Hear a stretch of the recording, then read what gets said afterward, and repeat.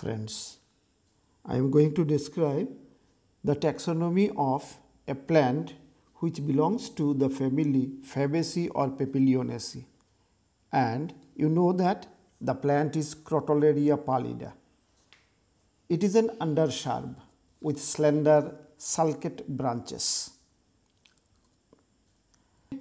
So, the leaves are alternate, compound, imparipinnate and trifoliate, long petioled and stipulate, stipules free, lateral and minute. Leaflets 5 to 8 centimeter long, ovate, oblong, mucronate and cuneate at the base. And the inflorescence is racemes terminal and lateral 30 centimeter long and bracts subulate. The flower of this leguminous plant is butterfly like hence the family is termed as Papilionaceae. Papilion means butterfly. According to Bentham and Hooker, Fabaceae is a subfamily of the family Leguminosae, but according to Hutchinson, Fabaceae itself is a family. Okay? The flower is complete as it has calyx, corolla, androecium and gynoecium and it is zygomorphic, bisexual, hypogynous, ovary is superior and the color is yellow having streaked with purple color.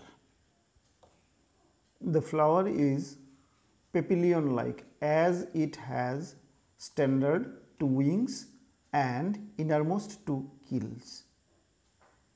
Okay. So, this is the floral diagram. This one is the mother axis and sepal lateral one and anterior sepal.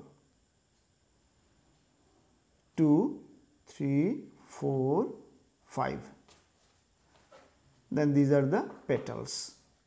Vexillary in estivation. Okay. Then this one is the bract now we are moving to the calyx. This is the calyx tube having 5 sepals. And the base is little bit connate that is united. And the upper portion are free. And estivation is valvate. The number of sepals are 5. So, it is gamosepalous okay. and these are the petals standard wings and keel. This is papilion like. This is the floral diagram which represents the structure. This one is the stamen. Here the stamen are monadelphous. Monadelphous means united in a bundle. The number is 10 and alternately short and long like that. This structure it covers the female structure that is the gynoecium. So, these are the 10 stamens. They are united in a bundle and form the monadelphous structure. Okay. This is the female portion that is the gynoecium, ovary, style and the stigma and this is the TS of the ovary showing the placentation here the placentation is marginal because the placenta is originated from the suture. This is the ovary in the floral diagram and this is the floral formula. Flower is bractate, zygomorphic, bisexual, 5 united sepals, then papilionaceous petal, standard, wings and keels. And monadelphous stamen united 10 in number